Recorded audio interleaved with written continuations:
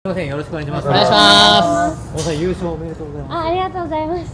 いや、他の方はギャラリーがないってことなんですはねそれ大丈夫ですい。大丈夫じゃないでしょ。大丈夫だね。はい。もっと前もって言ってくれないと。ね。うんいや本当に僕はでも篠原さんに半分ぐらい払ってもらいたいですねもう公開されてますから聞いてますか？いやいやでもでもほら本来の姿になれたからでもうんあれ本来の姿にななれたから、はい。あのー、2位になれたかもしれないですよ。あ来てた方が逆に本来の動きできなかったかもしれないです。いやーどうまあ確かにちょっと軽くはなりましたけどちょっとやっぱ恥ずかしかったですもん恥ずかしくはなかったですけど。まあいつもあれだから、ね今、今服着ちゃってると、なんかこうテレビ見てる方とかも、うん。誰だみたいなことになってらっしゃるんですかね。ちょっと7年前によくやりましたねそれ。じゃあその方がいいのだったらいやでもこれ本当にすぐ着ろって言われるんですよ。責任取ってくれますね俺。い。あ、じゃ、じゃあ、じゃあ、大丈夫。いんですか？大丈夫らしいです。わかんないかわもかんないそうしれないけど。かわかんない。別に俺脱ぎたいんですけども。あ、本当脱ぎたい、脱ぎたいんであるじゃあ、はい。脱いでいただいて。大丈夫ですか？はい。待って本当に脱がない？脱いだ方がいい。着てた方がいい着てた方がいい。どっちですか？え 大丈夫ですか？本当ですか？あじゃあちょっと脱がしてもらいます。あ、ありがとうございます。すみません。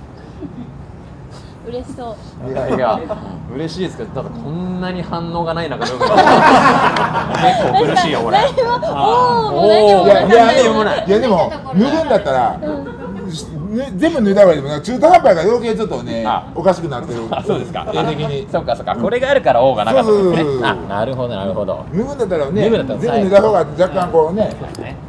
ただのと中途半端な変態的な感じになりますよねこれですね。はいあーそうえい。いや、どっちにしろ反応ね。あ おかしいなウェイまで入れたのに。え、でも、まあ、篠原さんで、まあ、やらなくても大丈夫なぐらい、なんか今年は稼いでらっしゃる。いやいやもう全然そんなことないですもうちゃんとあのギャラもらわないと、もう死活問題ですよ。4人お子さんいらっしゃいますからね、4そういうこと人。そういうことです、はい。はい。ただまあまあ今回は本当にもう何回も言いましたけどもうお客さんの前にもう入れるっていうだけでもう私はもうそれだけでいいと思ってますから。あ小島さんとは違います。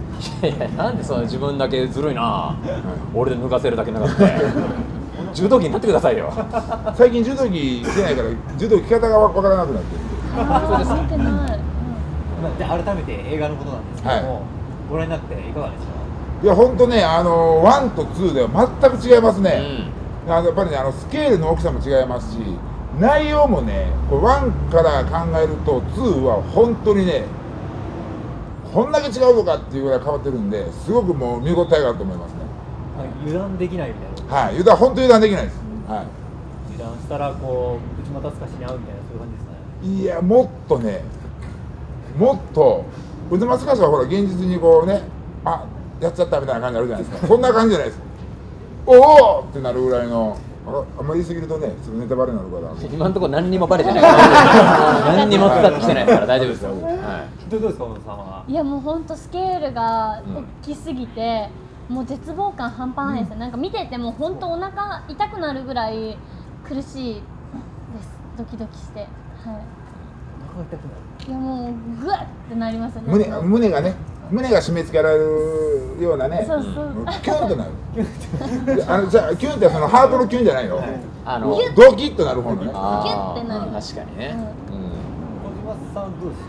僕もあのあの先ほども言いましたけれどもやっぱこうなんか途中からこう自分を投影しながら自分もこう一緒にあの逃げていくっていう感覚であのハラハラドキドキしながら見れましたね。小島さんもやっぱりこうゲートして迷宮に入ってらっしゃるっていうのも、そうですね。僕はもうだいぶ前から迷宮入ってましたから、えー僕の場合あの2に行ってないですずっと1です、えーワンのままうん、1は一回抜けれてますけど僕ずっと抜けれてないですから、はいもうダメダメじゃないですか。これ2のやつですからそうなんです。僕もだから2に行きたいんですよ、えー、芸的には。ワンを続けることがやっぱりいいこと。そうですね。1を続けることでやっぱあのいつか2に行けるでしょうし、はい。あのーそういう意味ではやっぱりこの映画っていうのは僕に勇気をあのくれる映画だなと思ってます。素晴らしい、はい。篠原さんもはい。どうですか、あの若干最近迷宮入りみたいなのもあるんですか？特に迷宮入りっていうのはないですね。あの本当にあのねうん。なんかねよくはいろいろなところで番組でもあるしね、うん。迷宮にはまだなっておりません、うん。小島さんみたいにならないように気をつけていただいて大変ですよ俺の人生は。あですか。え え迷宮人生、今後のプランみたいなのがあるんですいやもう全く考えてません。本当にあのー楽しくいけたらなと。楽しくまあこの映画に限るんであれば、うん。やっぱりこのみんなでね助け合いながらっていうのがまた、これがまた見どころの一つなんで、そういう意味では本当にあのーみんなで助け合いながら、はい、自分がちょっと滑れそうになったらもうねプロのこ小島さんが多分ガッとこう盛り上げてくれると思うんで。それあのー、どっちも事故る場合ありますけどね。僕が助けに行ったら、えなんか、はい、そういう時は、まあ、ののかちゃんがね、うん。ポロッとなんか、ね、喋ってくれれば。私が？そうそうそう。えうん。できるかな。みみんなで潰れないようにはい。頑張ります。はい小野さんはなんかそうちょっとゲイとかそういうのに悩まれていたりとか迷ゲイ？宮とかないですか？あの、あの、今時からね、ちょいちょいやらないんですけど。ゲイっていう、その、は発、発音が、そのこっちの方に聞こえちゃう。は 発音的に。芸能人の方のあそうそうそう。ね。はあーなるほど。まあでも私もまあテレビとか出させてもらってから、うん。まあ1年2年ぐらいかも。2年ぐらいだってもう本当ここからが勝負だと思ってるので、はい。もう本当に皆さんのお力を借りて頑張っていきたいと思ってるんですけどねどうしたらいいですかね、ね。その辺はちょっと、今度、ちょっと作戦会議立てないとね。あはい。いや俺でも聞きなさいよ。全然俺に相談してないじゃないか ずっとこっち向いちゃってましたすいません。いやいやいいんですよ、うん